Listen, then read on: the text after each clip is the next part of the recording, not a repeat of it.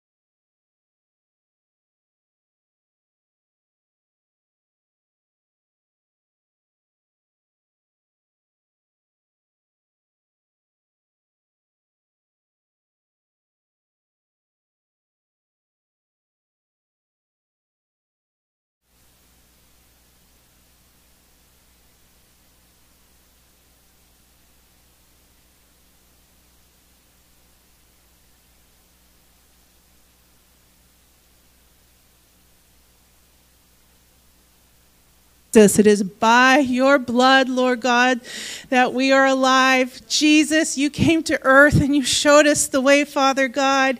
You showed us the perfect path laid out for us to follow, Lord Jesus, and you took it all to the grave for us, God, so we didn't have to pay the price, Lord. You did it for us. Hallelujah, Jesus.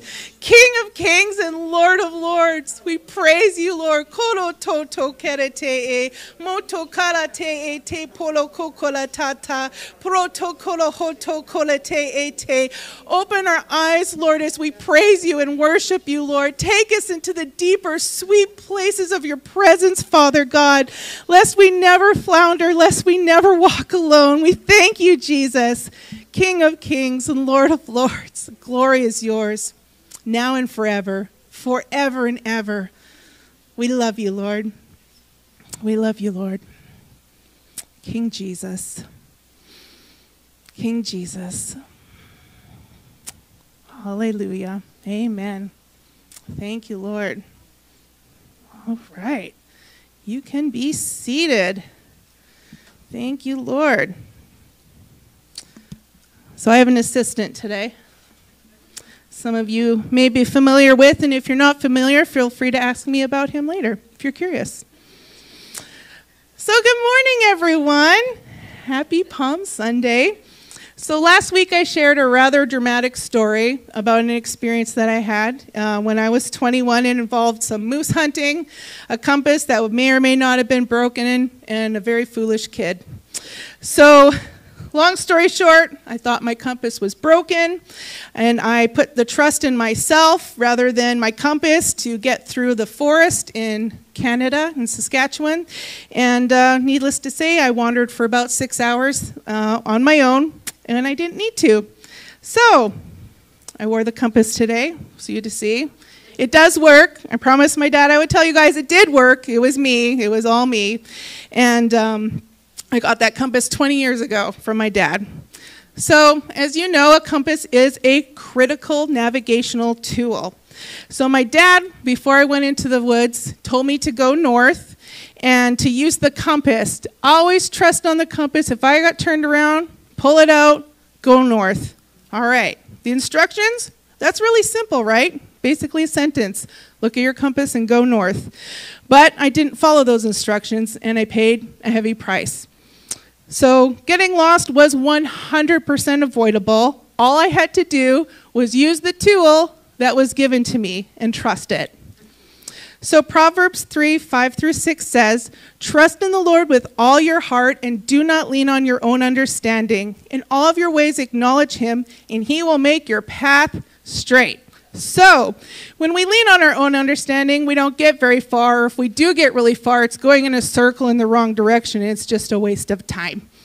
So, when you think you have it all figured out and make a plan of action, it's really important that you include your partner, who's the Lord Jesus Christ. Otherwise, you're going to just be wandering lost in the forest for what? For nothing.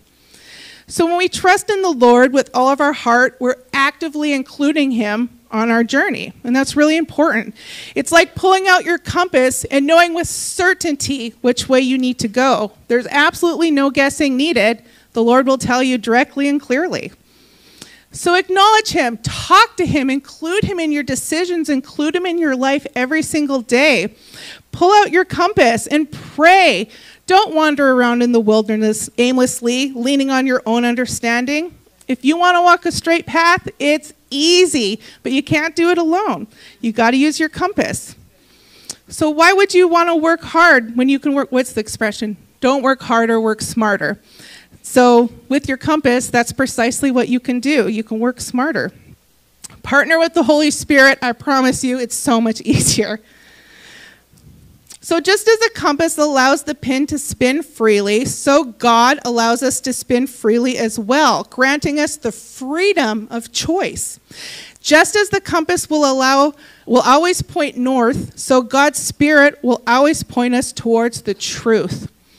The way towards truth is such a long and arduous road sometimes because we don't trust our compass. Psalms 43, verses 3 to 4 says, Give me your lantern and compass. Give me a map so I can find my way to the sacred mountain, to the place of your presence, to enter the place of worship. Meet my exuberant God. Sing my thanks with a harp. Magnificent God, my God. Now, if that verse doesn't make you want to run to your prayer closet and get in his presence, I don't know what will. Come on now, you guys. God is so good.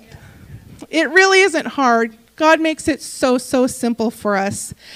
Ask for the Father's map. He'll provide a compass and a lantern that's going to light your path. Then all you have to do is trust and take that first step. Don't look backwards. There's no point looking at your past and being like, oh, my path was so crooked. I got off the path a bunch of times. Oh, I can see all the things that happened. No. When you're committed to going forward, you go forward. You do not look backwards. You just keep your eyes on Jesus, compass in hand, and walk towards Him. He's going to show you the way. He always does. So if you're feeling lost today, like you're walking in circles in the wilderness, just ask the Lord to be your compass and to be your guide. He is faithful and He will always steer you right. And by all means, learn from my mistake and trust in your compass. Trust the Lord Jesus. His plan for your life is beautiful, it's perfect. There's no one else who can do the things that you can do with Christ in you. You're important and valuable to the kingdom. Look to Him always, trust Him, and go north. Hallelujah. All right. So, Father God, we just thank you that you will never steer us astray, Lord. You have a purpose and a plan for each of us, Father God, on our paths. We work st- walk straight. We walk towards you, Lord. We want to work in your glory, Father God. We want to be focused on the kingdom, Lord Jesus. And there's absolutely nothing we need to turn around and look back towards God. We are seeking your face, Lord God. We want to be in your presence, Lord. Equip us with a compass, Lord Help us to know to trust it, Father God, because your plans and your ways are perfect. Thank you, Jesus. In your mighty name we pray. Amen. All right, now we have a video message from Pastor Israel.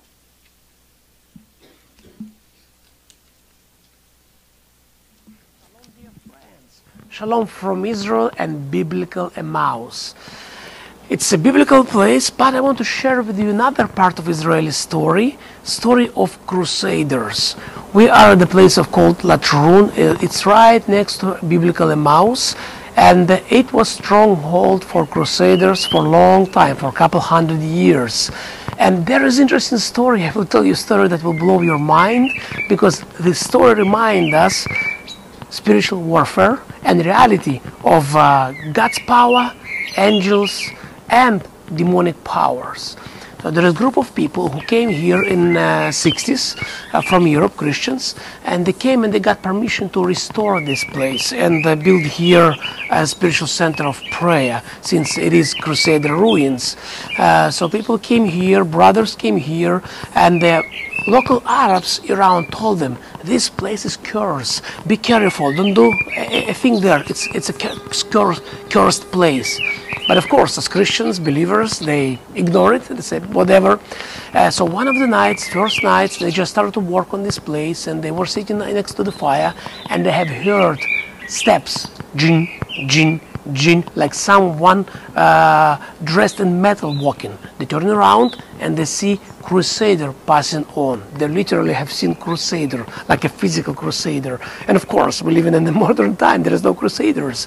And then another time they hear steps, boom, boom, another, another crusader come. One dressed in French style, another looks like a, a British crusader. So it was very interesting. And they understood. Probably there were lots of bloodshed and lots of different situations why it happened. So brothers started to pray and uh, cry upon the Lord and call upon the name of the Lord and in spirit they cleanse this place and situation have changed and now many people many Israeli people, people of Israel, and some even international. Not many people know about this place, but the people come. I come here sometimes to pray, to spend time with the Lord. And now this place full of peace, God's shalom, uh, the great place for devotion, highly recommended. But it's interesting, right? Uh, there is a reality of demonic powers. They have seen crusaders walking or spirits of crusaders walking, but because of prayers, it's all gone. And now the place of darkness, once cursed place because of bloodshed and all the wars become place of rest and place of shalom. Shabbat shalom, dear friends. Blessings and shalom.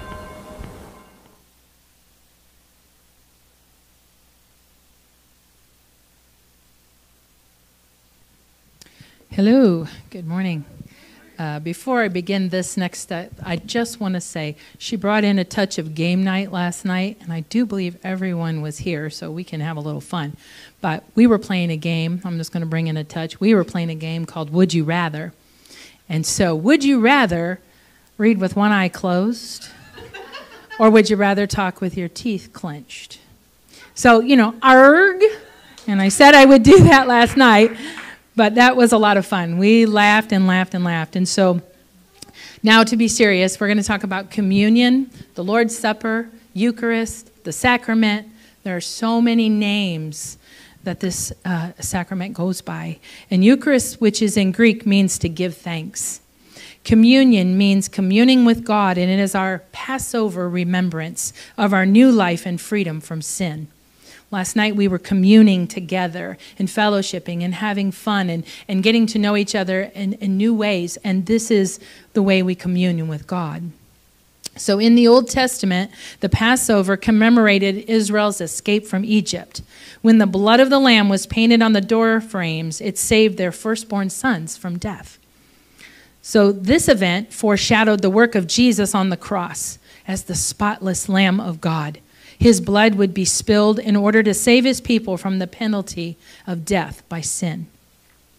Jesus instituted the Lord's Supper on the night of the Passover meal. This was a special Passover meal. Happened to be right when it was time, right? God's got, got it. He knows the timing. So, as this was the last meal that Jesus would share with his disciples, he took elements of the Passover meal and made them symbols of his death. Just as Passover celebrated deliverance from slavery into Egypt, so the Lord's Supper celebrates deliverance from sin by Christ's death. Hallelujah.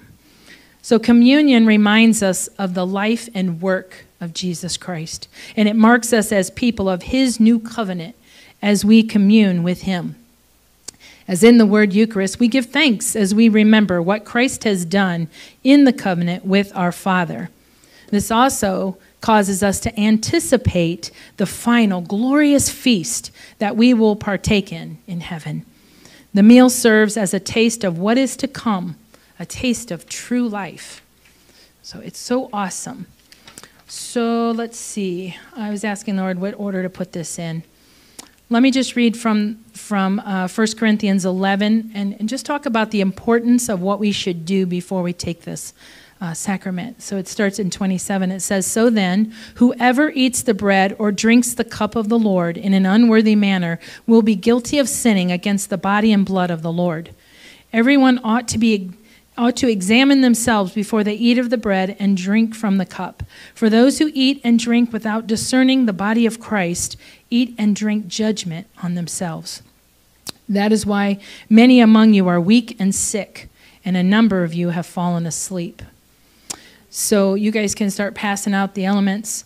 Um, this this impacted me as a child. I belonged to a denominational church and I never read those words, but I knew that the sacrament was holy. And we were to examine ourselves and make sure that we were we were asking God to come in and change us from the sinful to the set free. And it was so impacted on me in my faith over the years uh, that when my children and I went to a different church and the pastor was up front and he was preaching that it was okay for the kids to take communion, I would not let them because that was something that the pastor had to teach them in a two year class. They had to have two years of training before they could take that, that sacrament that Jesus died for. And I, I just was so strong about that. I I wouldn't let him take it. So one particular Sunday happened to be Easter, Resurrection Sunday. Um, the altar was covered in decorations, so they passed the elements among the pews. And my six or seven year old daughter, my other kids, thank you, were um, sitting beside me, and my little one was begging me, Please, mom, he said it was for everybody. He said, Jesus died for everyone. He said, Mom, that I can take it. He said so. And I, and I was so in what I thought was right, I would not allow my children to partake in this sacrament. And this brings tears to my eyes even to today, because as the plate was being passed in front of me, and I took the bread, and my six, seven year old daughter is looking up at me and begging me to please have Jesus in her heart. I couldn't let her because of the religion. And the plate passed, and I put it in my mouth, and I instantly started to bawl because I have the body of Christ in me, and my daughter, who wants it, does not. Isn't that wrong? So then the juice got passed, and, and I took it, and she stopped asking because I told her no. And I was adamant. No, you have to examine yourself. You don't know how to do that. Even though I had told them all about it, it wasn't good enough for me. And so immediately after the church service, I ran to the back door and I said, Pastor, oh my gosh, I just denied my children the sacrament of Jesus Christ. Would you please do something about that? And you know, he was so good. He took them right up to the front and he had him get down at the altar and he explained what mom was trying to say. And he said a prayer and he, and he invited Jesus into their hearts. And he said, Mom was just trying to do what she thought was right. So it's okay. And he forgave me for that. And my kids got communion that day. And so I'm so grateful. So grateful for that pastor that wasn't stuck in religion to get my children to get that sacrament. So even though we examine ourselves and we make sure that we understand, it's for everyone. It's for everyone. He did it for everyone. You know, and so he came to our house a couple weeks later and he played a game with them. And it was a memory game, and he used all the titles of, of this meal. He used Eucharist. He used the Holy Sacrament. He used the Lord's Supper. He used communion. And so I'll never forget that. Even though we all have different names for it, it's, it means giving thanks in remembrance, and it means communing with God in sacrifice that Jesus gave. So we get ready to take the elements here. And it says in 1 Corinthians 11, starting at 25, it says, The Lord Jesus, on the night he was betrayed, took bread. And when he had given thanks, he broke it and he said, This is my body, which is for you. Do this in remembrance of me. So go ahead and break that body that was broken for us and partake in this meal.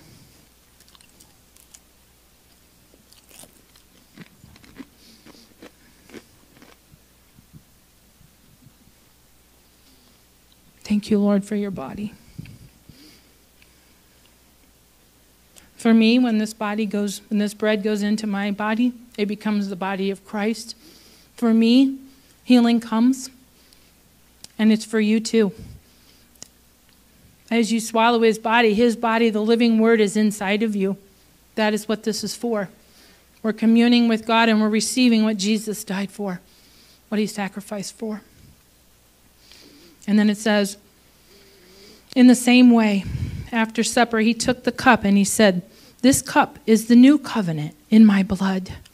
Do this whenever you drink it in remembrance of me. So take of his blood, shed for you.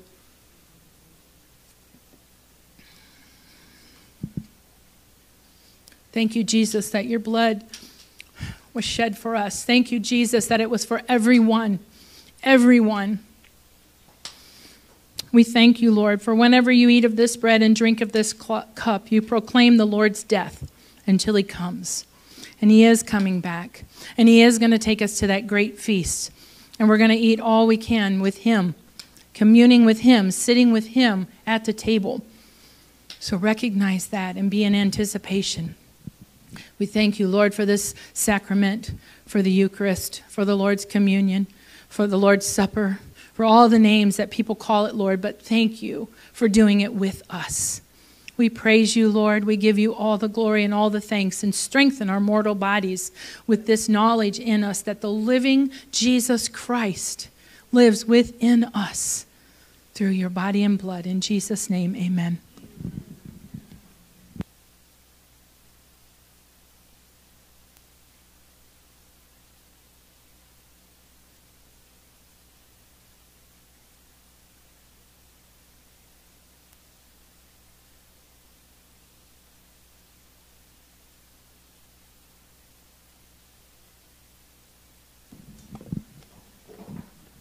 Praise the Lord, everybody.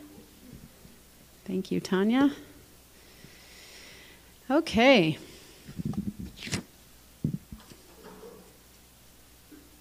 Praise God. I was in the moment of communion and realized, oh, it's me. Okay, I better get myself up here.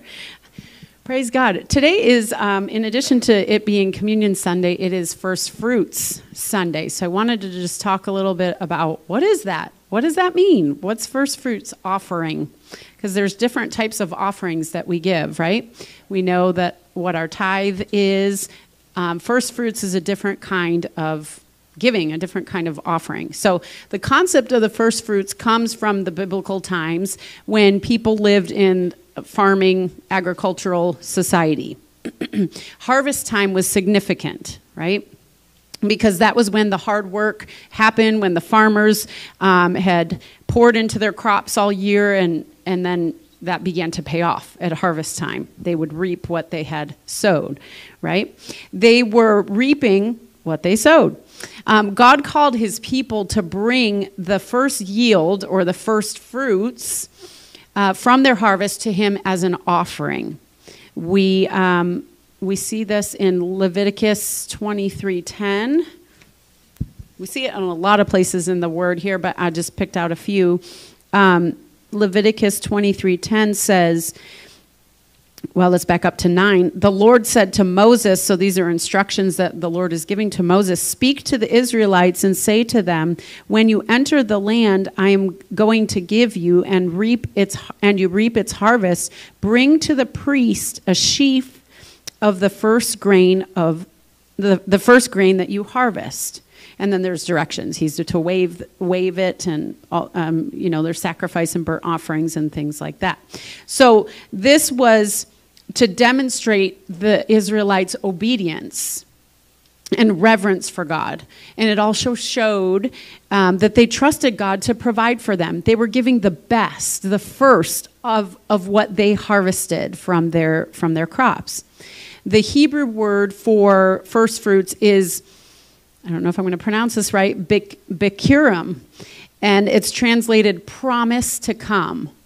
I thought that was really cool. Um, so think about that. The, the first fruits is the promise to come. So they saw the first fruits as an investment into their future because there's a promise to come that's attached with that. So as you give your first fruits offering today, you can know that there is um, there's a promise to come. That if they that if they or you in this case bring your first fruits to God, he, that He will bless all that comes afterward. Isn't that amazing? we get the good end of the deal. Praise the Lord. Proverbs 3 9 and 10 also talk about first fruits. It says, Honor the Lord with your wealth and with the first fruits of, um, of all your produce. Then your barns will be fill- filled with plenty. We got a barn out here, right?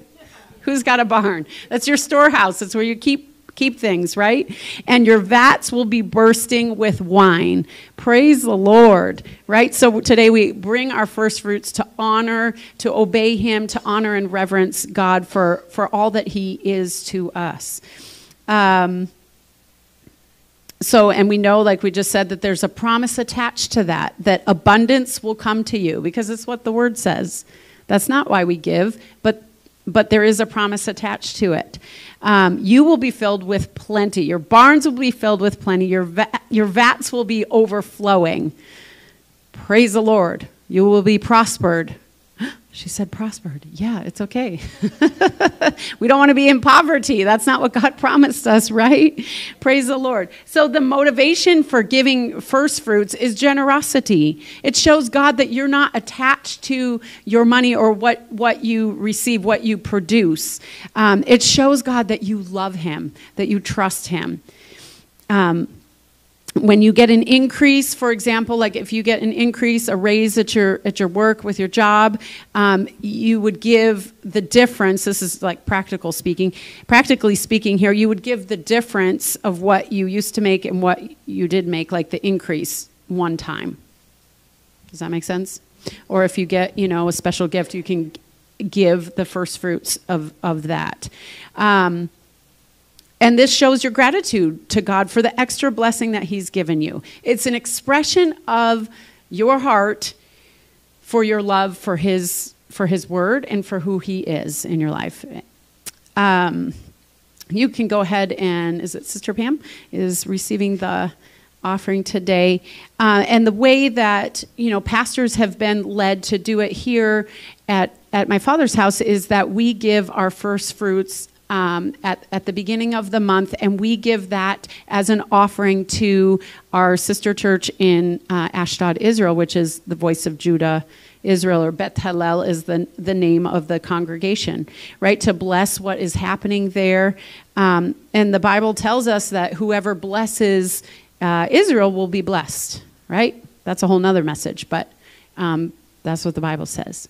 So as she's coming up, let's just um, let's just bless Israel right now. They, um, you know, we got a special request from Albert Veksler, who's part of the Jerusalem Prayer Breakfast. While he he's the leader of the the founder of the Jerusalem Prayer Breakfast. Um, and he asked for prayer today for Israel. So let's just bless them for a moment and then we'll bless our offerings as well. Thank you, Father. We just bless the nation of Israel now in the name of Jesus. Thank you, Father God, for bringing your shalom peace over that nation. Just a rest, a blanket over them, covering all political and social unrest in Jesus' name. Father, we declare unity in the name of Jesus, that you bring each party in, Father, in unity under your plan, Father God, for the shalom peace of God, where nothing is missing, nothing is broken. We declare blessing over Israel in the name of Jesus. Jesus. We pray for the peace of Jerusalem in the name of Jesus. Shikabasoto hatada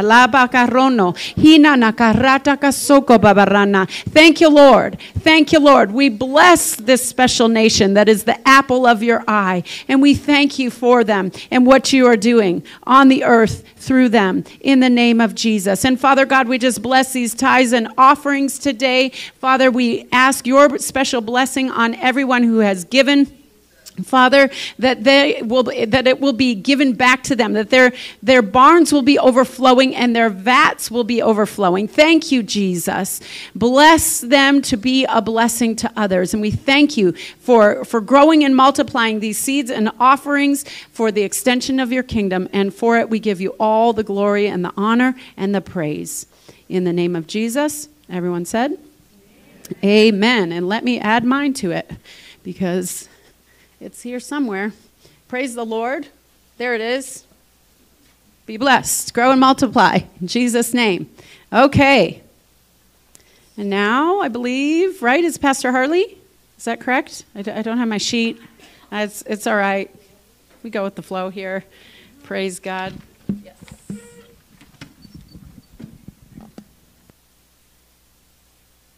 Glory to God. Hallelujah. Everybody doing well this morning? It's the day the Lord has made. We'll be glad and rejoice in it. Amen. Glory to God forever. So this morning I want to speak to you about being protected, special protection that we have uh, from God. So if you think about, oh, well, well, just first kind of a throwback to the video that we just watched from Pastor Israel. He's talking about the place. We, we, we would say Emmaus. He said Em- Em- Emmaus uh, was a place that was cursed. The Arabs around that area thought the place was cursed because of all the bloodshed and all of the things, and because of the little ghosts and the demon spirits that were operating around there. And uh, the Christians prayed, and those kinds of things lifted, and now it's become a place of prayer. So, if you think about where Christians are, believers, I'm just talking in a broad spectrum, um, I kind of came to the conclusion you can divide people into three camps, more or less. I mean, you probably could. You could probably do some variations of this and get more than three, but here's three simple camps that people kind of place their belief system on. The, the, the, first group, they don't even believe there is a devil. Maybe they're kind of ignorant of the word or just oblivious to the fact that you know there are spirit entities all around us that we're surrounded by the presence of angels the presence of demons the presence of uh, spirit in, in the spirit world people are just oblivious to it and just go on doing their life. And they call themselves Christians, of course, and you know maybe it's through nobody ever talked to them, nobody ever taught them, etc., whatever. But they just kind of like poo-poo the devil. They think it's like superstitious if somebody believes in the spirit world, etc., and uh, so they just kind of ignore it. Then there's another group that it's all about the devil. Everything is the devil, and there's one behind every bush. And you know, you have to do all kinds of spiritual warfare against the devil all of the time in order to stay protected, in order to stay free from the results of whatever those demon spirits are doing. So their whole life is like sort of consumed with resisting the devil, fighting the devil, fighting about, about demon stuff. Um, and then there's a third group. The third group is more what I would call the watchful, the wary, and the equipped. So they're not oblivious to the, to the devil. They believe there is certainly a devil and demon power and a spirit world surrounding us. But they're wary of his tactics, of his designs, of his plans and purposes for people. And they're equipped to not just fight, but to stand in freedom and be protected from demonic power influencing their lives and hurting them. They're not afraid of the devil, and they don't go looking for devils. But if the devil shows up, they're sure to cast him out, resist him, get rid of him, get it out of here. So, um, so it's interesting if you just kind of look into the Bible. Uh, I like to go to the New Testament particularly when you talk about such a subject because you see the reality of demonic power all over the New Testament, but especially in the Gospels and in the book of Acts. So, in the book of Luke, the fourth chapter, it's the story about Jesus and how he got launched into his ministry. So, let's take a look at there. Let's start there with the book.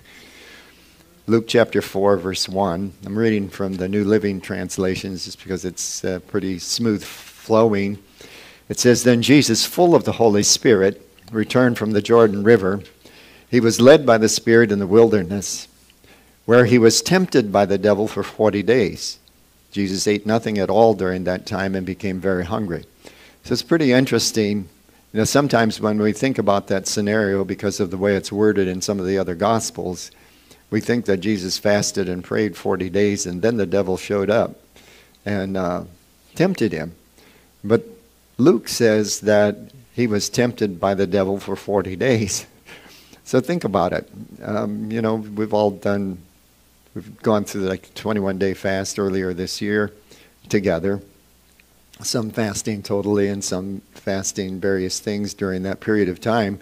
But depriving ourselves of food so that not to make us more spiritual or anything like that, but to make times, make special times to actually seek God and let God speak to us and be like more spiritually aware uh, because we're not just stuffing our faces and stuffing our food. So I was mar- remarking to Pastor Karen, you know, you don't need a pandemic to kill Christians, to kill people. You know, here in America, all you have to do is give us a fork. We'll kill ourselves, you know.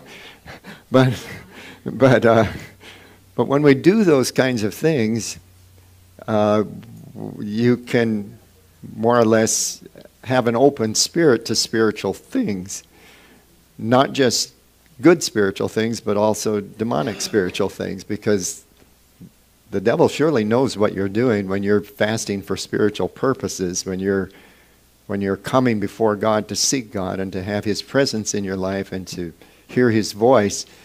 Uh, uh, devils and demons certainly know those kinds of things, and those will be times that they will come after you. They will try to do some stuff to distract you or to get you to quit or you know all kinds of things. Put you know thoughts singing through your mind and through your brain, and uh, try to discourage you. So you can just imagine that Jesus.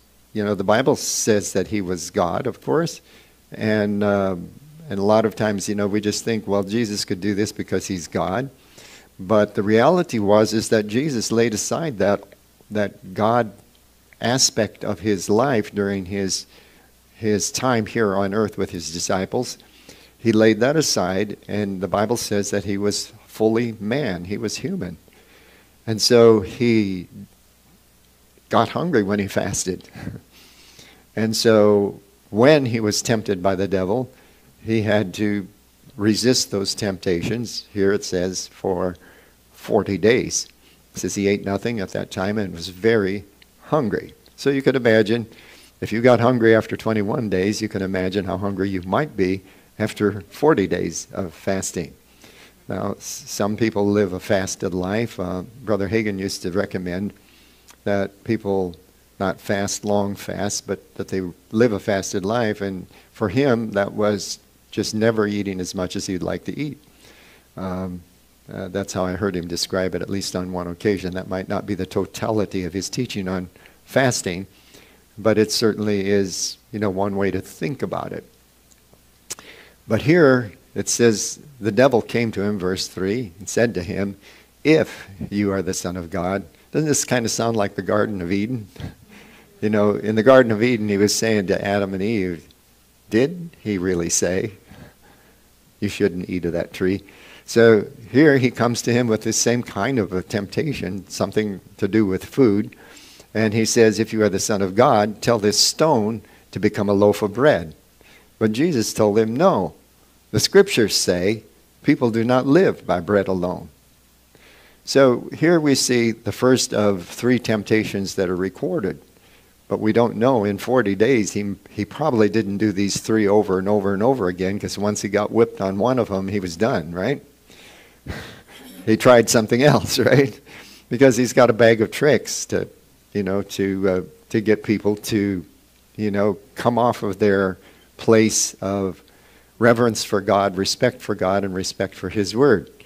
So Jesus simply answered by quoting the Scripture, quoting the Word of God, because he was a rabbi, he was a Hebrew scholar.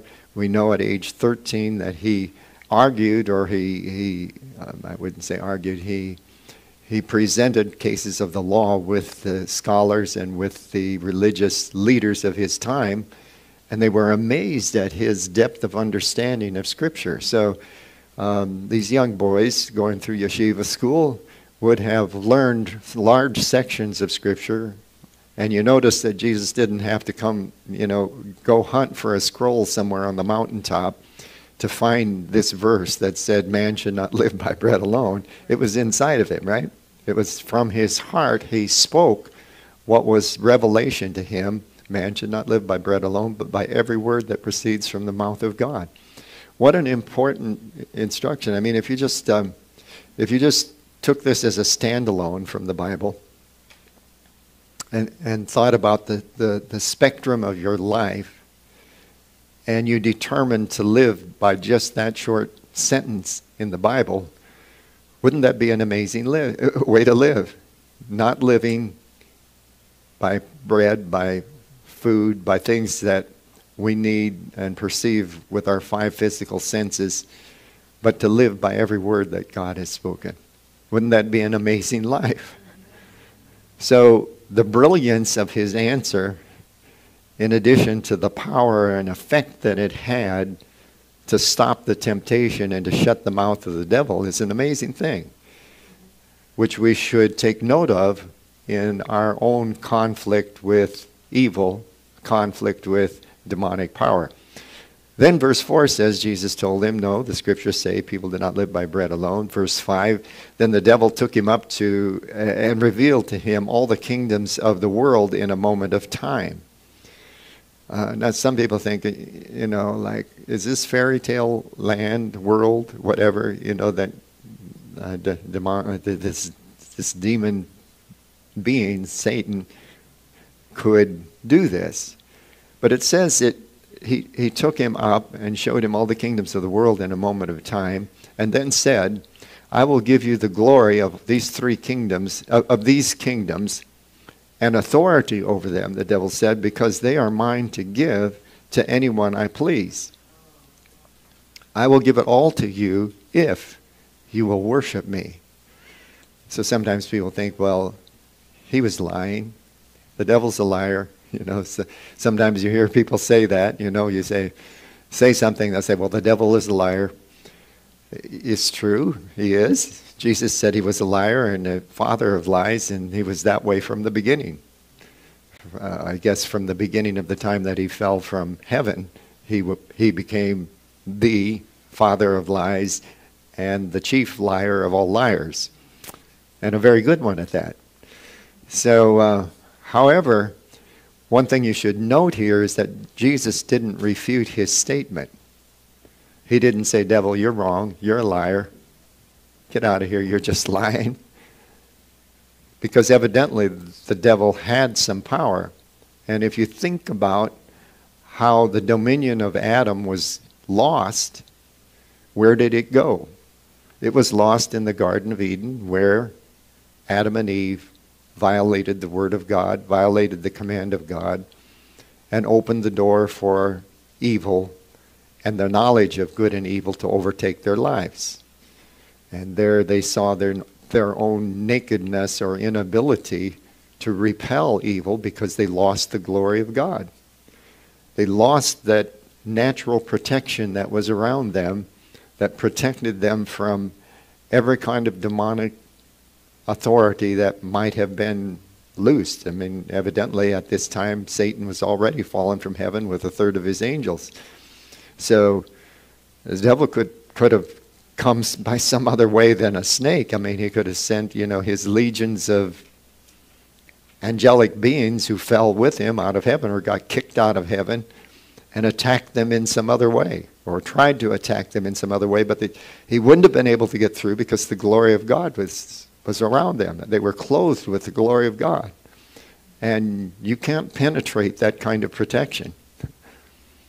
The glory of God is too powerful to penetrate for any human being or any demonic entity or any angelic can, uh, uh, cannot stand before the glory of God.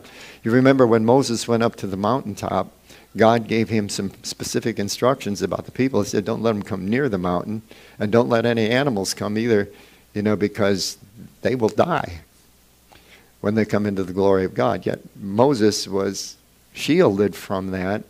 And when he would come down from the mountain, he would be semi clothed with the glory of God because people couldn't look at his face. He was shining. He was literally shining with the glory of God.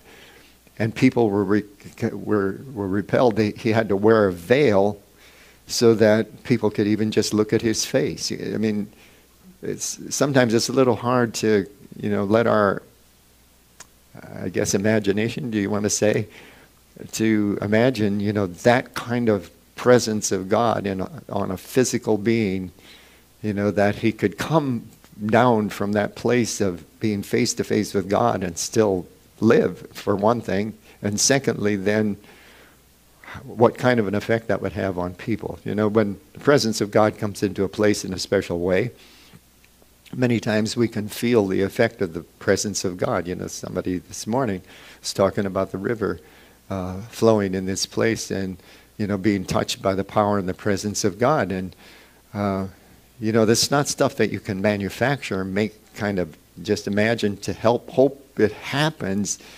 You know, when the presence of God is there, there's some magnificent things happen.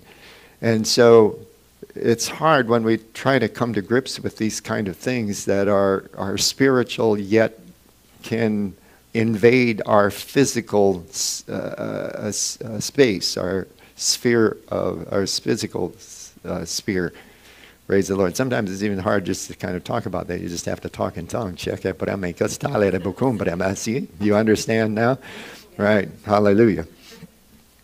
So, uh, anyway, then it says, uh, well, the point is Jesus didn't refute him. He didn't say to him, you, you lying spirit, get out of here.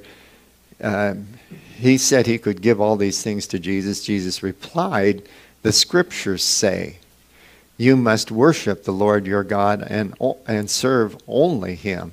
Now that was that scripture was um, you know was like from the times of the commandments. Hear, O Israel, the Lord your God is one Lord, and um, you shall worship only the Lord your God, not any kind of other gods that were around them or that that were around them with the, the heathen people who were worshiping other gods. So those other gods that the people were worshiping were demon gods, basically. Uh, they were that those gods were statues, of course, but behind the statues, or in, in, somehow uh, mixed in with the statues and the things that they were bowing down and worshiping and offering sacrifices to, there were demon spirits in, in full operation. Uh, we know from both history and from the Bible that they even had gender bender demons and gods operating. In fact, the, the famous Queen Jezebel, her father was the king of the area that had the chief gender bender god, the one that they actually did uh, like transgender surgeries and things like that uh, to change men to women and women to men in those days, even.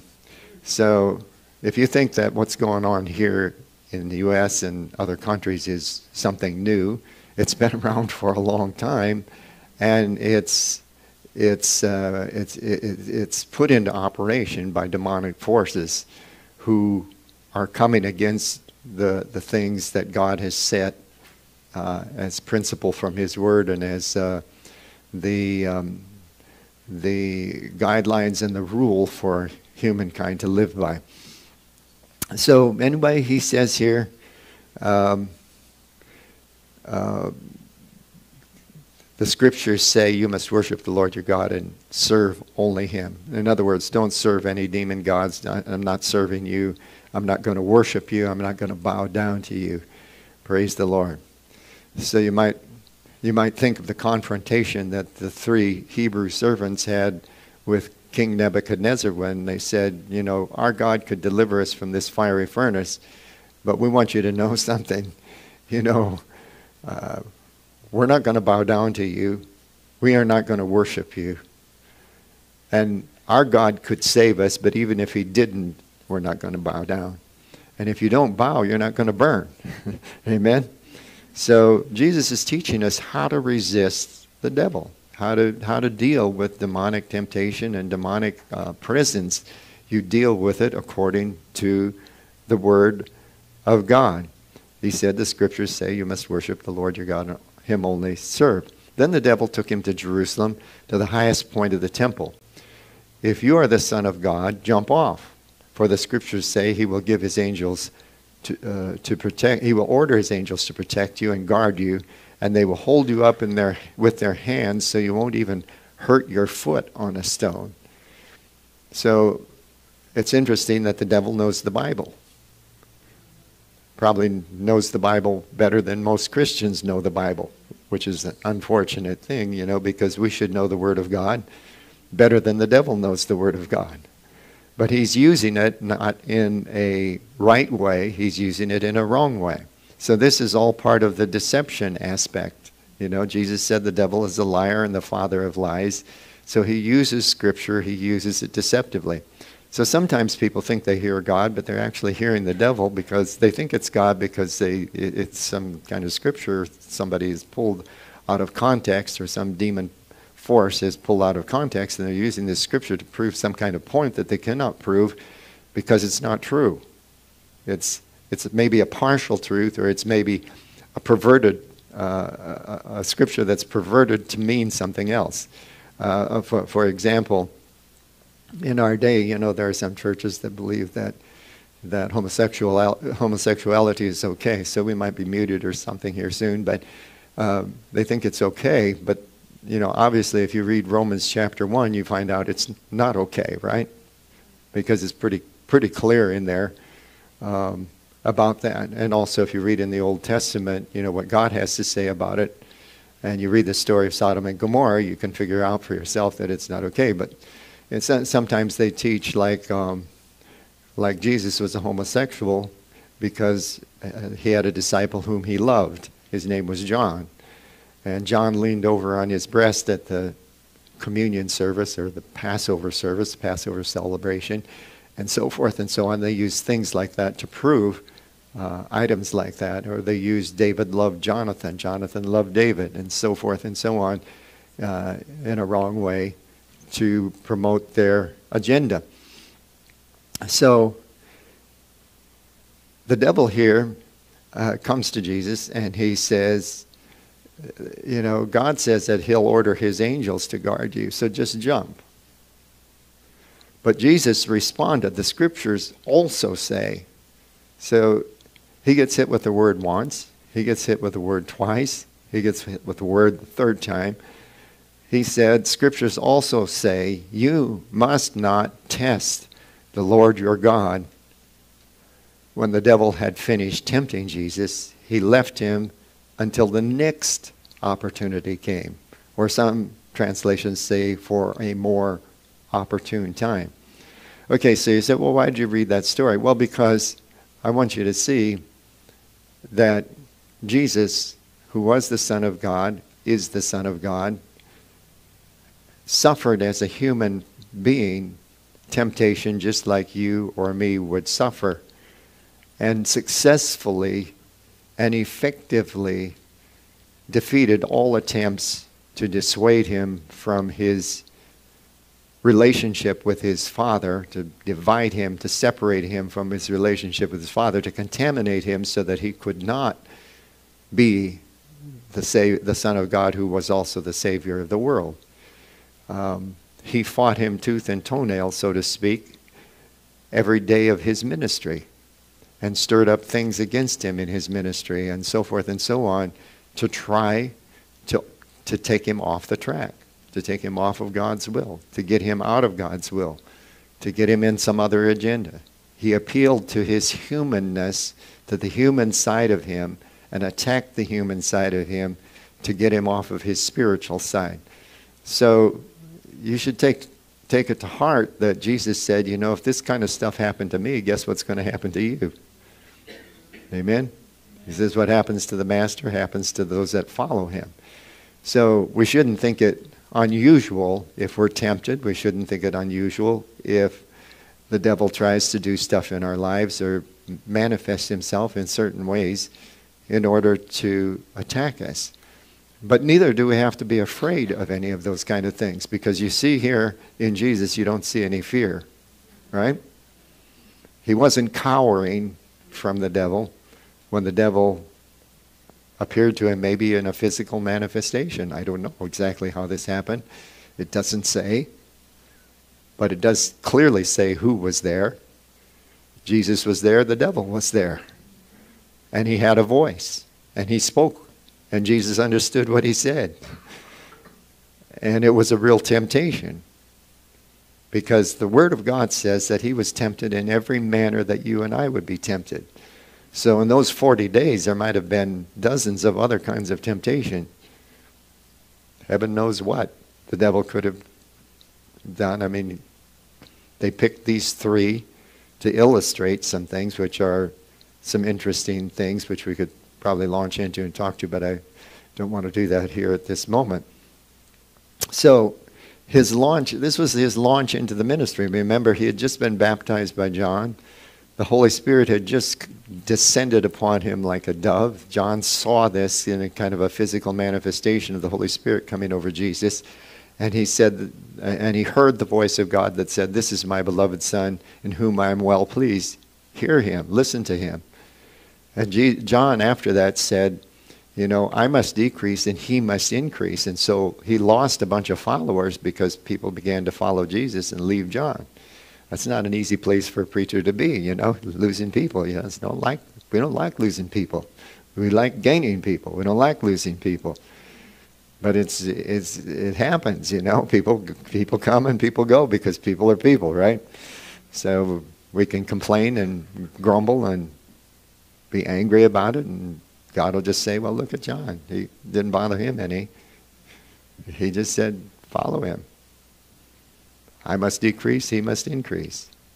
So um, sometimes we don't understand things like that, but it's reality.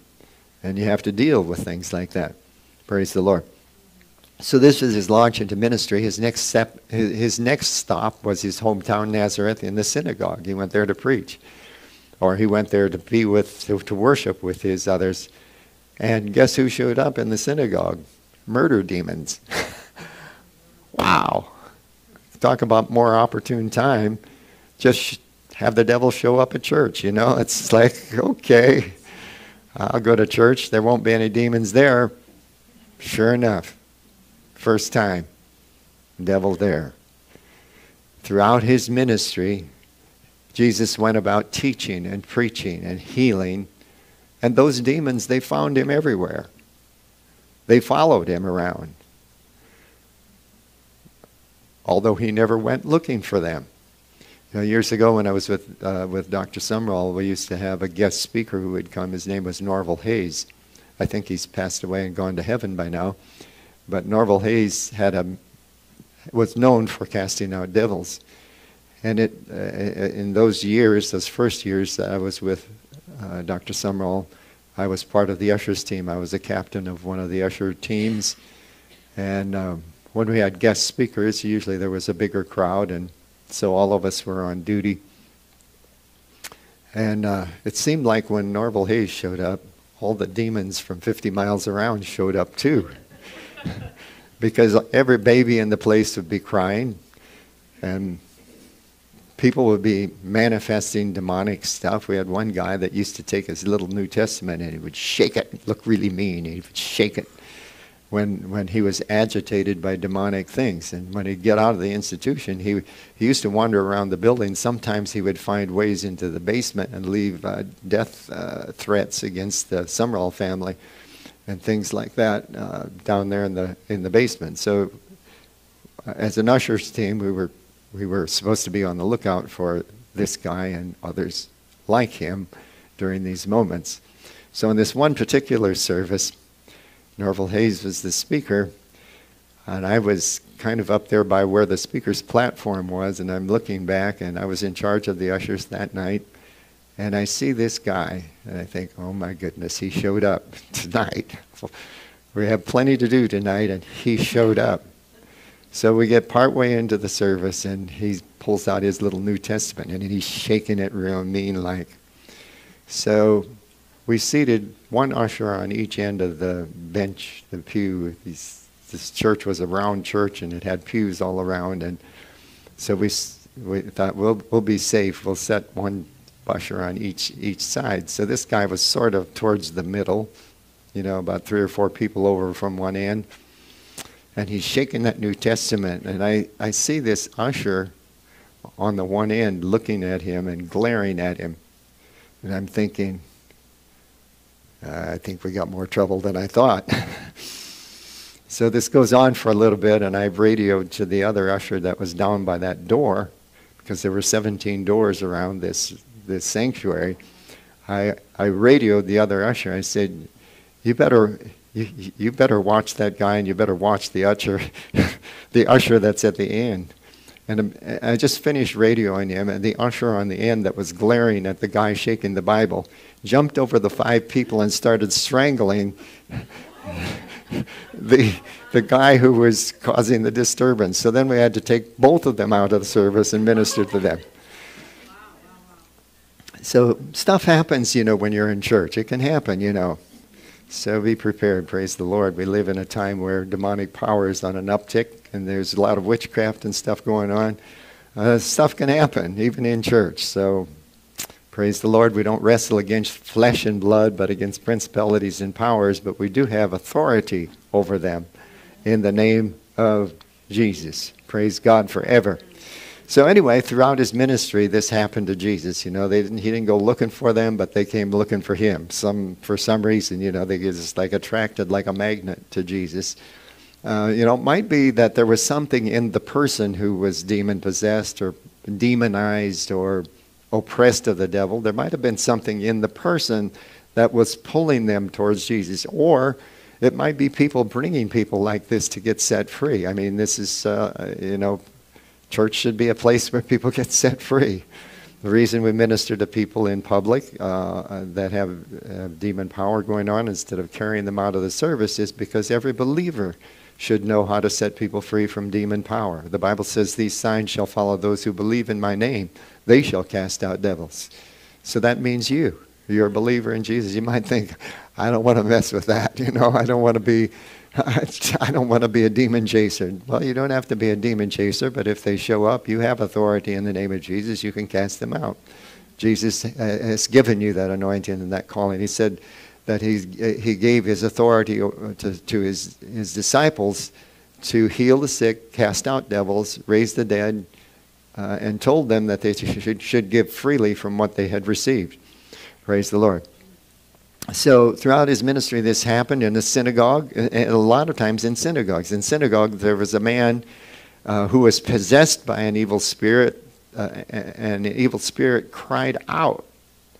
Um, the word also says that he went preaching in the synagogues and casting out demons. So it seems like there was a pretty regular occurrence that uh, people that were oppressed by demonic power showed up in the synagogues. Uh, maybe they were just tolerated by others who were leading the, syn- the, the services and the worship in the synagogues. Not sure exactly. But when Jesus came, they seemed to be there, and he usually dealt with it. But not only there, on the Sea of Galilee, Jesus had to deal with a d- demonic power. You remember he was asleep in the back of the ship, the back of the boat, and uh, this sudden storm came, such a fierce storm, that his disciples, who were seasoned sailors, thought the boat was going to sink. They said, Jesus, you know, say, Jesus, you know, why are you sleeping back here and we're bailing water? And um, Jesus said, Oh, you of little faith, stood up and pointed at the storm and said, Peace, be still. And the place was quiet. And uh, then they said, You know, he, this is weird. Even the, sea, even the winds and the seas obey him. So demon power was trying, the, the, the, demonic powers were trying to kill Jesus, I guess you could say. I mean, they were at, at, the, at the Nazareth synagogue, they ended up taking him to the cliff and were going to throw him over the cliff. That wasn't just to say, to teach him a lesson, that was to kill him. Those were murder demons. Um, the demons that caused that storm were there to sink him, not just to teach him a lesson. Then when he gets across to the other side at the Gadarenes, this guy shows up. This guy that chains wouldn't hold, ropes, strongest ropes wouldn't hold. He'd break the chains and he'd break the ropes. And the Bible says that he was he, he claimed to be filled with a legion of demons, And it says that nobody went that way because they were afraid of this guy. He was a, like a terrorist. I mean, he was terrorizing that area. He was naked and he would, he would do all these wild things. But he, he, he was drawn towards Jesus because Jesus had been saying, Come out of the man. So evidently Jesus spotted him afar off and said, Come out of the man. And then he was drawn to Jesus and they had this discussion. It's the only time that we, we know that's recorded, at least, that Jesus had a communication with the demon spirits that were in the guy. Because he asked, you know, how many were there, and they said legions.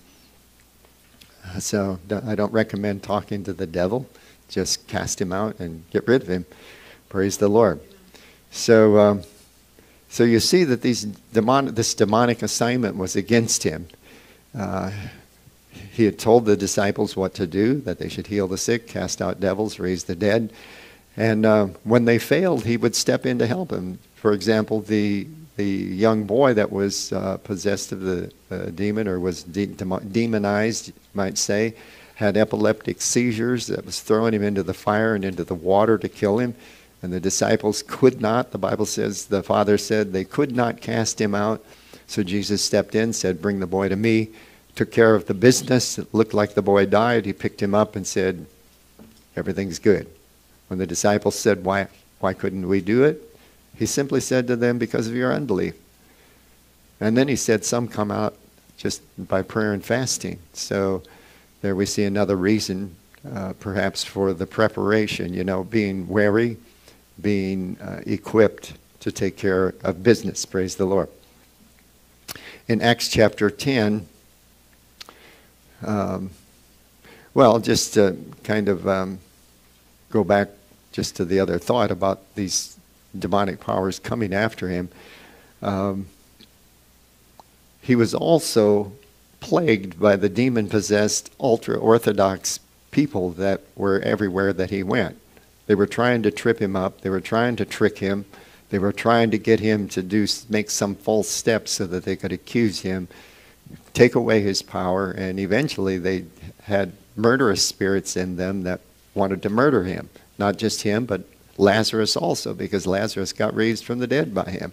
And many people believed on Jesus because of that. So all of this was happening all of the time, but Jesus still wasn't looking for demons. But when they showed up, he took care of business. So it's a model for us. Amen? So we don't have to be afraid of demon power, even though demon power is all around and it's on the uptick and there's witchcraft going on all over the place uh, in our government, in our local government, in our state government, in our federal government, in the nations of the world. Um, I mean, you all maybe heard about at least or even saw the thing that happened at the Grammys where they were bowing down and worshiping and glorifying demon powers, you know, right on national TV in front of kids and everything, you know. Um, he's getting bolder and more brash in his attempts to affect our culture, to affect our society, to affect our nation. But this is what Peter said about Jesus in Acts 10, verse 38. He said, And you know that God anointed Jesus of Nazareth with the Holy Spirit and with power. Then Jesus went around doing good healing all who were oppressed by the devil, for God was with him. Healing all that were oppressed by the devil, for God was with him. So what's what's the counteraction to to the demonic power on the rise? Is it spiritual warfare? Because a lot of times, you know, people say, well, we have to be in spiritual warfare. We have to we have to take up spiritual warfare to uh, to take care of this. But yet we don't see Jesus in that sense taking up some kind of uh, some kind of mode of spiritual warfare to come against the devil. He just naturally either used the word of God against him or spoke. Now, I'm not saying that Jesus was not a person of prayer because he was a person of prayer. Jesus went to the mountaintop and prayed, sometimes all night long, the Bible records, right? So he had fellowship with the Father, he had communion with the Father, he had the presence of God in his life, he had the presence of the Holy Spirit manifesting over him. But you don't see him encouraging his disciples to do some kind of special ritual called spiritual warfare of some kind in order to counteract what the devil is doing. Now, I, I understand in just using the terminology broadly, um, we understand we're not fighting against flesh and blood, but against principalities and powers, against rulers of darkness and wicked spirits. So there is a fight. I, I acknowledge that. I'm not taking anything away from that. So a fight would sort of speak of some kind of thing called could could be called or termed spiritual warfare because we're engaged in a in a battle of sorts or or at least a wrestling. It says we, it doesn't say we don't battle against flesh and blood. It says we don't wrestle against flesh and blood. So there's some pressure, there's some wrestling, there's some contention between the human person and the demonic entities, right? Okay, and that can happen to anybody, right?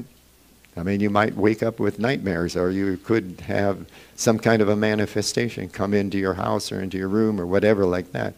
You can do some things to protect yourself about that. You know, we should pray over your property. You should trust God. You should confess the Word of God over yourself, over your family, over your home, over your workplace, over places where demonic, you know, demonic stuff is going on. And I suppose, in a sense, that could be called spiritual warfare but it should be really kind of just normal Christian life, right? I have a relationship with God. I spend time with God. I read the Word of God. I, I feed myself spiritually. Amen. I want to fellowship with the Father. I want to have His presence in my life. I want to manifest His presence around me, right? Those, are, those should be all things that we do not to repel devils, but to live our life for Christ, right? So that we're prepared to minister to people, worship God, and minister to people. Bring the presence of God into the lives of people, right? Does that make sense to you? So I'm, I'm not against, you know, prayer and uh, things like that. But it seems like in our time that some people go to great lengths to make a a, more or less a, like a, a doctrine about something. And, and I understand sometimes you have to do things like that to get people's attention, you know, like, wake up, there's a devil out there, you know, and he's real.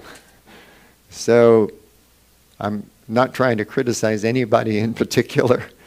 I'm just saying our normal kind of life should be like Jesus' normal kind of life because greater is he that's in us than he that's in the world, right?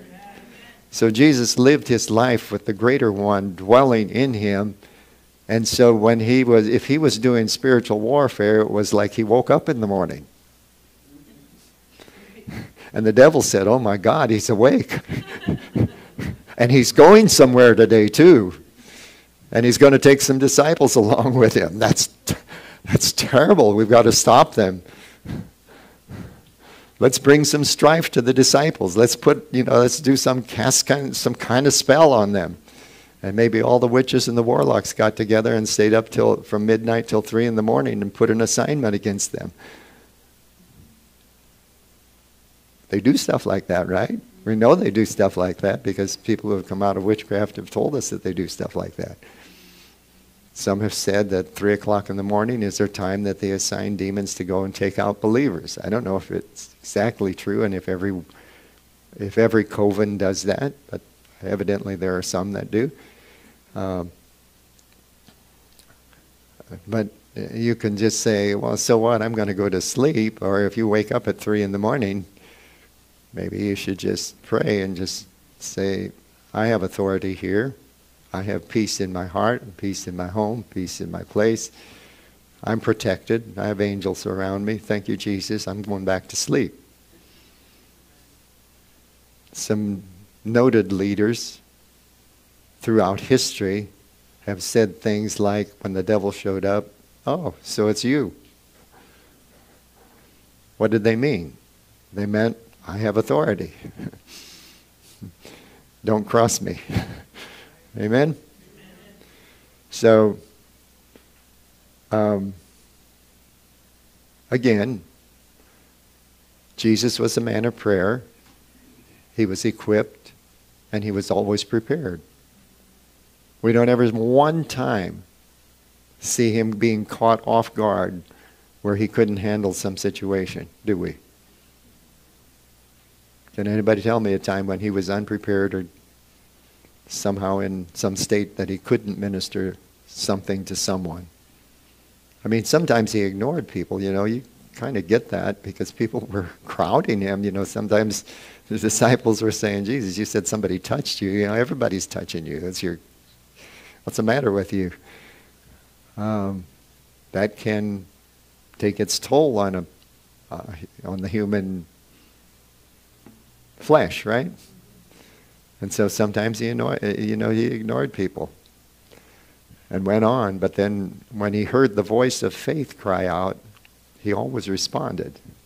Even if it was some heathen woman from some other country that said, My daughter needs you. My daughter needs to be set free.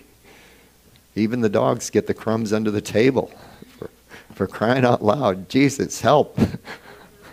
and he helped. Amen. So, praise the Lord. So, the Apostle Paul, likewise, was badgered and harassed by demon entities. He said, a, a, a messenger of Satan buffeted him. Not buffeted him, buffeted him. Amen. He wasn't at the Great Wall or Paradise Restaurant in Auburn. He was buffeted by some demonic messenger that harassed him. This is kind of what he how he describes his life to this group of Corinthians in, in the church. In 2 Corinthians 11, 23, he said, he's talking about others that are ministers. He said, Are they servants of Christ? I know that I sound like a madman, but I have served him far more. I have worked harder. I have been put in prison more often, been whipped three times without number, and faced with death again and again. Five different times the Jewish leaders gave me 39 lashes. Three times I was beaten with rods. Once I was stoned. Three times I was shipwrecked. Once I spent a whole night and a day adrift at sea. I have traveled on many long journeys. I have faced dangers from rivers and from robbers. I have faced dangers from my own people, the Jews, as well as the Gentiles. I have faced dangers in the cities, in the deserts, and in the seas. I have faced dangers from men who claim to be believers but are not. I have worked hard and long, enduring many sleepless nights. I have been hungry and thirsty, and I have often gone without food. I have shivered in the cold without enough clothing to keep me warm. Then, besides all of this, I have the daily burden of my concern for all the churches. So, you know, some of that is not about demonic activity, but some of it is, right? The devil didn't give him his burden for the churches, right? That was something he took on himself. But many of those things were demonically inspired to take him out. And it's no wonder, because who wrote two thirds of the New Testament? It was the Apostle Paul. So maybe you or I aren't of that caliber or that import to the kingdom of God, but the Bible does say that every believer is valuable, right? So when one believer gets taken out, there's a hole in the body, right? We need each other to function. We need each other to function well because collectively we have available to us all the gifts and the ministries of the Holy Spirit to minister to people. So we should be protected and pre- prepared to deal with demonic activity in our lives, just like Paul was. Because this is what he said.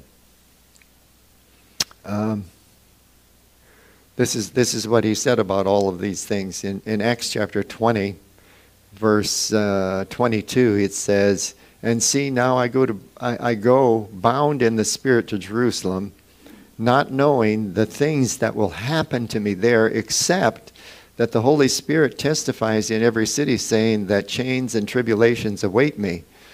But none of these things move me. Just think about that for a moment. None of these things move me. What does that mean? You can be surrounded by demon power and not have it move you, right? Jesus had all these attacks against him, but none of it moved him. He didn't let it take him out. Paul didn't let it take him out. And then he said, Nor do I count my life dear to myself, so that I may finish my race with joy and the ministry I've received from the Lord Jesus to testify the gospel of the grace of God.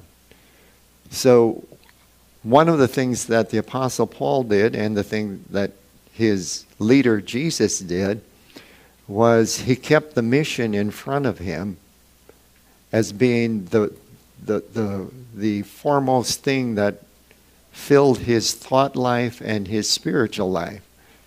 So instead of thinking about the demons are attacking me, I've got trouble, they've attacked my finances, they're attacking my family, they're doing this, they're doing that, there's demons everywhere doing stuff.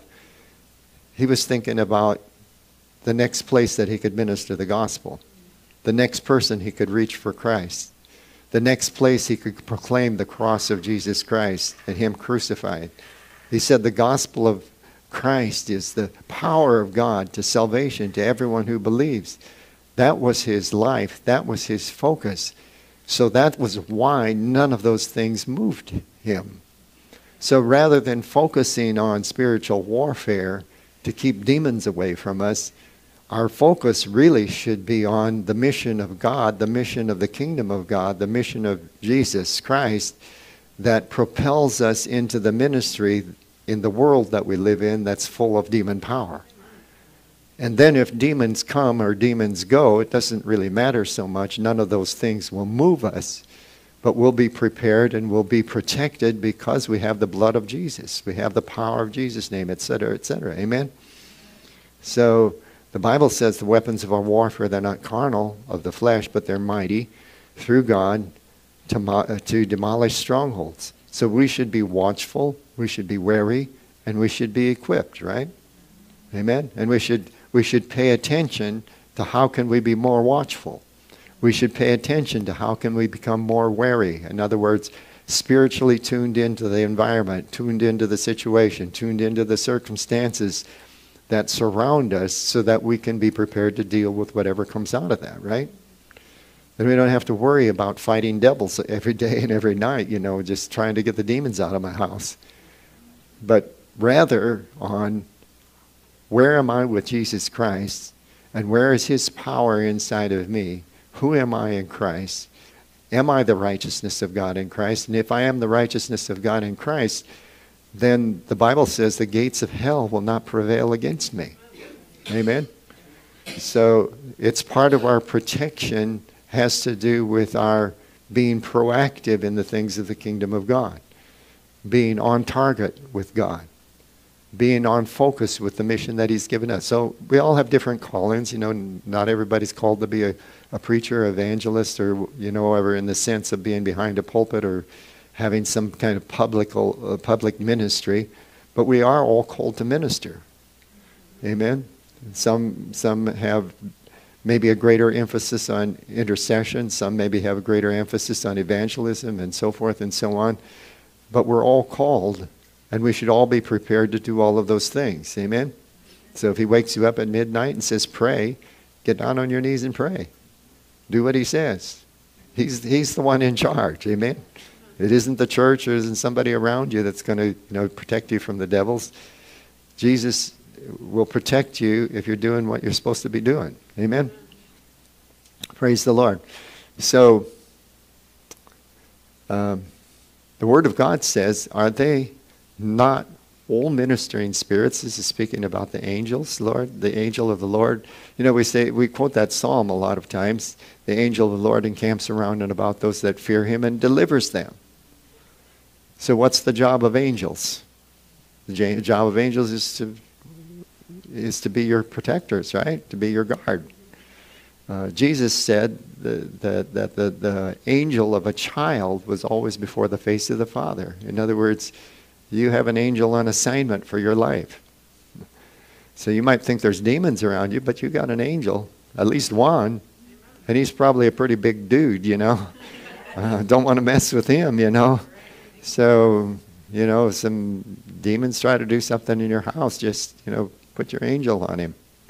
Amen? He's probably looking for something to do if you haven't been kind of, you know, helping him get there, you know? Praise the Lord. And if you don't want to use it, I'll, I'll use yours. You just put him on assignment here. Praise the Lord. So this is what the Word of God says. It says, "Not are they not all ministering spirits sent forth to minister for those who shall or will inherit salvation?" Question mark. Are they not? What's it talking about? It's talking about the angels. The Bible says they're flames of fire. They're ministering spirits. They're sent forth to minister for those who are heirs of salvation. So why wouldn't you have the angels fighting those kind of battles for you? we know that when Daniel inquired of God in Daniel chapter 10, and Gabriel came and brought him a message, Gabriel said, You know, I had some trouble getting to you, but Michael the archangel went and pushed the demonic forces back so I could get to you. So we know that there's some warfare going on, but it isn't you beating the heck out of the devil by getting in an airplane and quoting the Word of God or flying over something in military gear, you know, as if some outward kind of thing is going to scare the devil. You already have the armor of God. If you don't have it on, it's your problem. Amen. With your armor, he can only see Jesus. But if you don't have it on, eh, you know, you, sometimes people say, well, because it says, you know, put on the whole armor of God every day, I should dress myself in the armor of God. My advice was, don't take it off. I mean, you know, do you take, do you, do you shuck the armor when you go to bed at night so that, so that the demons can come in and give you bad dreams? I don't know. Just keep the armor on. Just keep on the helmet of salvation. Be, be a good idea, right? Keep on the breastplate of righteousness. Be a good idea, right? Keep, keep on the belt of truth. It's, it's, a, it's a great idea. Keep the sword of the Spirit out. It's better than a great idea. It's offensive and it's defensive. Amen? Amen. You're, you've got the armor. Just be armed. Stay armed. Use your arms. Deploy your, deploy your equipment. Amen? Praise the Lord. So uh, the word also says Jesus spoiled the principalities and powers, defeated them, and made a public spectacle of them. So if there's a wrestling going on, it's, it's with a defeated army of demon powers, right? Because Jesus whipped the daylights out of them at the cross. The Bible says that if they had known, they would never have crucified the Lord of glory. if they would have known what was coming to him, coming to them because of what he did at the cross, they would have never done it. But he did it. And he did it for you and he did it for me. So we should live in a place of victory over demon power. Never afraid, never ashamed, never cowering. And, and here's just some advice from my heart. You should be speaking more about God and the things of God than you're speaking about the devil and the things of the devil. I mean, if you're, if you're totally focused and consumed on what the devil is doing, it will keep your mind in places where you don't need to be. But if you're totally consumed with the things of God and are ready to use the th- things of God to work through your day, you will be equipped, wary, and ready to go. Praise the Lord. He had already given his disciples the authority over the evil spirits to cast them out. And in Ephesians, it says that Jesus has seated us with him in heavenly places. That's a place of authority, right? So instead of seeing yourself attacked by the devil, you should see yourself seated with him in heavenly places, in a place of authority. Amen? So if you focus on those kinds of things, you know, read the, read the first three books of Ephesians. Pray those prayers over yourself and be equipped to deal with stuff that comes up. Then you don't have to worry about what is the devil doing today. He's worried about what you're doing today. Amen. Praise the Lord. So our weapons of warfare, they're not of the flesh, they're not carnal, but they're mighty through God to do what? Demolish strongholds. So if there have been strongholds in your life, they're set to be demolished because God said we have weapons of warfare that are mighty. Everybody say, I have a mighty weapon. Actually, I have mighty weapons. So, what are those weapons? Number one, the Word of God, just like Jesus had, right? That should be the first and foremost. Uh, secondly, we have the blood of Jesus. Uh, maybe not secondly, you know, I don't know. I, I just these are not necessarily in order, is what I'm saying. We have the blood of Jesus. It's powerful. You know, we sing songs. The blood of Jesus has never lost its power. It's true. It hasn't. And when you use the blood of Jesus, the devil is terrified because he cannot stand the blood of Jesus. And demon spirits, sometimes when you're ministering people, if you use the blood of Jesus, they'll cry out and they'll scream because the, the blood hurt them. the blood of Jesus hurt them and defeated them. Praise the Lord. We have the name of Jesus. That's no slight thing. That's no small thing. Amen. Every knee shall bow and every tongue shall confess that Jesus Christ is Lord to the glory of God the Father. Hallelujah. Praise God. We have the name of Jesus. We have the prayer of faith. The Bible says the prayer of faith will save the sick or heal the sick. The Lord will raise them up. The prayer of faith is powerful. If you don't know what that is, read Mark 11, 23, 24. Pray the prayer of faith over your situation, your circumstance. Release faith instead of crying about what the devil's doing. The power of the Holy Spirit we have. The Bible says you should be endued with power from on high, and then you'll be a witness to me in, in Ju- Jerusalem, Judea, Samaria, the uttermost parts of the earth. These are weapons of your warfare. These are things you can deploy when you feel like you're being oppressed or attacked by demon power the armor of deliverance. It's, in the book of Ephesians. Read about those armor pieces of armor. Keep those pieces of armor on. The prophetic reality and truth of God's word. The, the Bible says in the book of Revelations, and they, speaking of believers, overcame him by the blood of the Lamb and the words of their testimony. Your words are powerful because it's a prophetic word against uh, demon power. 1 Peter chapter 5 verse 8 says, "Stay alert. Watch out for your great enemy, the devil. He prowls around like a roaring lion, looking for someone to devour. Stand against stand firm against him and be strong in your faith. Remember that your family of believers all over the world is going through the same kind of suffering you are. So you can say, "Oh me, the devil's after me." Uh, so He's after every believer. This is what the word says. Everybody in the world is experiencing this. You're not some unique kind of thing, and it's just all about you.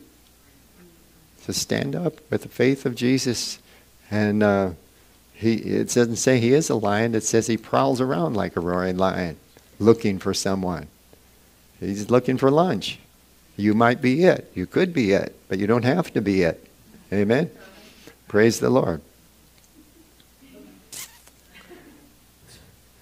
Watchful, wary, equipped, and protected. You're protected. You already have the protection. You have the protection of the blood of Jesus. The power and the presence of the Holy Spirit, all this armor that you've got on. Don't let the armor weigh you down. You should be able to run and jump a wall, the Bible says. Praise the Lord. I know I'm running overtime already. I'm so I'm going to end here. Uh, in the Old Testament, speaking about Jerusalem, the prophet Zechariah said this For I, says the Lord, will be to her like a wall of fire around about, and I will be the glory in the midst of her. Just think about that. Jesus says, or, or God says here through prophet Zechariah, that he's going to be like a wall of fire round about Jerusalem for protection, right? Because Jerusalem, even today, has enemies. And many of the people that live there don't know that God said he would be a wall of fire to protect her. That wall of fire is that same glory of God that protected Adam and Eve. It was the glory of God that was over them that the devil could not penetrate. He couldn't get through. The only way he could get through their, their wall of protection was to deceive them into believing a lie and getting them to give up their dominion. When they gave up their dominion, they lost the glory. When they lost the glory, they found out they were naked. So don't go streaking through life. Keep your armor on. The devil thinks it's the glory because it is the glory of God. It's part of his glory manifested over you. The helmet of salvation, the breastplate of righteousness, the shoes of peace, the, the belt of truth. And the mighty shield of faith is quenching every fiery dart that he sends your way. Isn't that protection? So stand fast in the liberty with which Christ has set you free and don't get entangled with the yoke of bondage. How do we get entangled? By getting our thought life and everything else like looking at the wrong thing. When Peter saw the wind and the waves, he began to sink. When he kept his eyes on Jesus, he could walk on water. So let's walk on water together. Amen. Let's take our world back for Jesus and let them see the miracle power of God. Don't come just with words of man's wisdom. Come with a demonstration of the power of God. Let that anointing flow through you and touch and change lives. So amazing the last couple of weeks ago when we were in, in Great Britain and saw all those miracles. People instantly healed just like that as Pastor Alejandro was ministering to them. Such a great sense of the presence of God just boom. You don't have to stay that way. You can be like this. And people just touched by God's power. Such a great life to live. So live it. Don't be worried about the devil. Live the life of God. Amen. Amen. Praise the Lord. Hallelujah. So let's pray. So, Father, I pray for those that are watching online and uh, live stream and those that are maybe listening by podcast, I ask you, Father God, that your presence will come over their lives in a special way. That your anointing will destroy the yokes and lift the burdens, and that your peace, your shalom peace, that passes understanding, will keep their hearts and their minds in Christ Jesus. That your grace and your peace would be multiplied to them through knowing you, Father. And that they would have great peace because they're taught of you, Lord. I pray, Father God, that their sicknesses would be healed. I release your healing presence over their lives, your anointing to destroy sickness and weakness and infirmity of every kind. I thank you, Father God, for manifesting yourself strong on their behalf and for raising them out of that place, Father, of hurt and pain and raising them to a place where they're seated with you in heavenly places in Christ Jesus. So thank you, Father, for your strength, your life, and your joy flowing over the airwaves to these, our brothers and sisters, in Jesus' name.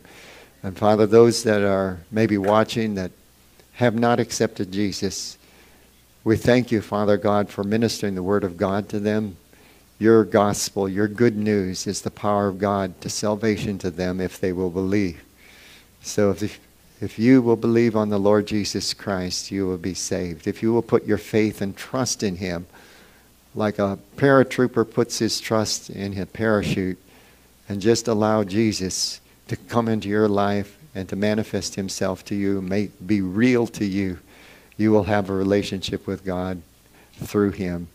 Thank you, Father God, for manifesting that for our friends in Jesus' name. And everybody